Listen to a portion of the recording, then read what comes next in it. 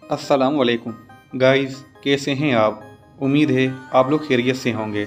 दोस्तों, इस पिक्चर में देखें कि इस पिक्चर में कौन सी मिस्टेक है, जबकि वो मिस्टेक साफ़ साफ़ नज़र आ रही है।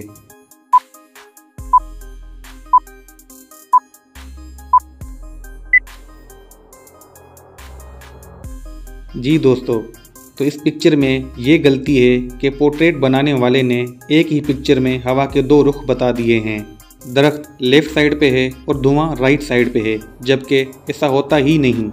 एक टाइम पे हवा का एक ही रुख होता है और वो एक ही सिमत में चलती है। फ्रेंड्स, ये बंदा अपनी ऑफ़िस में मुर्दा हालत में पाया गया है। अब ये पता नहीं चल रहा कि इसने सुसाइड किया है या इसका कत्ल हुआ है।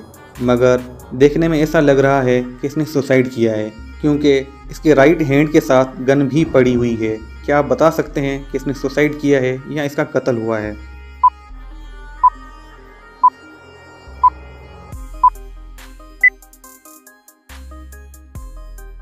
दोस्तों, इस बंदे का कत्ल हुआ है। अगर आप इसके टेबल को गौर से देखें तो इसका टेलीफोन और राइटिंग पेन दोनों लेफ़्ट साइड पे पड़ी हैं, जिसे साफ़ ज़ाहिर होता है कि ये बंदा लेफ़्ट हैंडर था।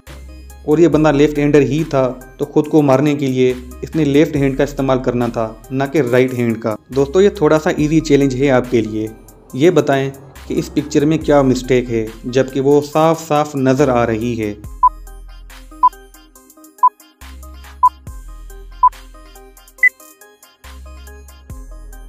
जी दोस्तों तो इस पिक्चर में मिस्टेक इस घड़ी में है, क्योंकि किसी भी घड़ी की चाबी लेफ़्ट साइड पे नहीं, बल्कि हमेशा राइट साइड पे ही होती है। दोस्तों, अब बारी है इंटरेस्टिंग चैलेंज की।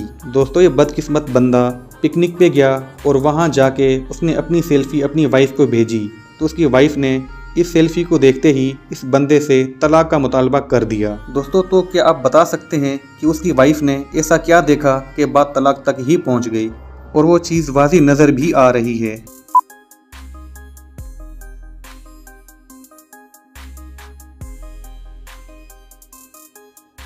जी दोस्तों, सामने पड़े उस गिलास पे गौर करें तो गिलास पे लिपस्टिक का निशान साफ़ साफ़ नज़र आ रहा है।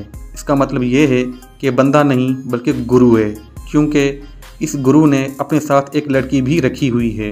जी फ्रेंड्स क्या आप बता सकते हैं कि इस पिक्चर में कौन सी गलती है, जबकि छोटा सा बच्चा भी ये गलती बसानी ढूंढ सकता है।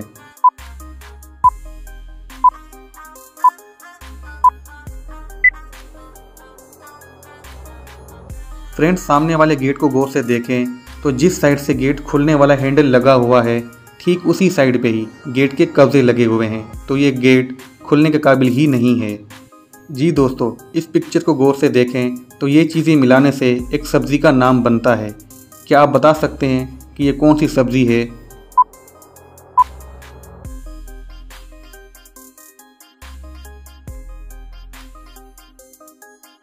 दोस्तों, जब हम इन तीनों को मिलाएँगे तो ये बनता है कॉली फ्लावर दोस्तों, अगर आपको ये वीडियो पसंद आई हो तो एक लाइक ज़रूर कर दीजिएगा और अगर आपने हमारा चैनल सब्सक्राइब नहीं किया तो चैनल को सब्सक्राइब कर दीजिएगा। Thank you so much